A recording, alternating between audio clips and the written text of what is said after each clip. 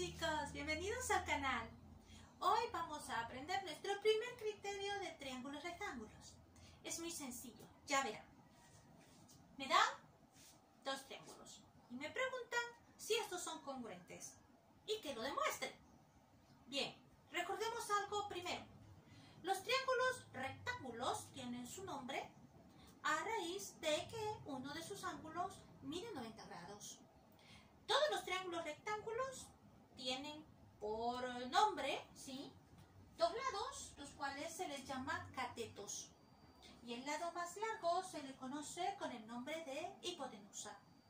Bien, dado este presaber matemático, vamos ahora a demostrar que estos dos triángulos son congruentes.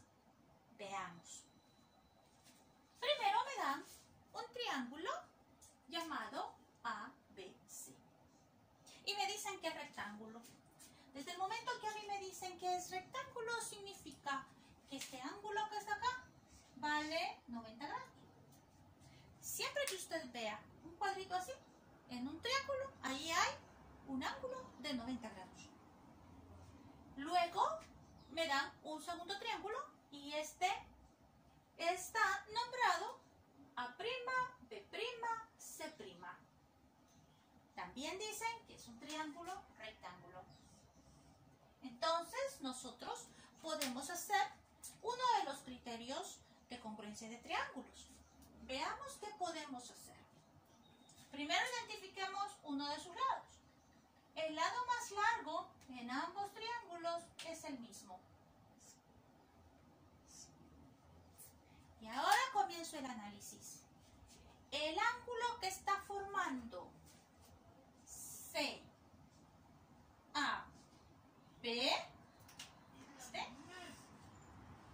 es igual al ángulo que se está formando en C', A', B'. Estos son iguales. Ajá. Tengo entonces dos ángulos y un lado. Dos ángulos y un lado. Tengo el criterio ángulo, lado, ángulo. Por tanto, yo puedo decir, el triángulo ABC es congruente con el triángulo A', B', C'. Y ambos triángulos rectángulos. Miren qué sencillo. ¿Se dio cuenta? Fácil, directo, patada al pecho. ¿Bien? Sus lapicitos están muy sencillos. Le doy una sugerencia. Vea los ángulos cuánto valen.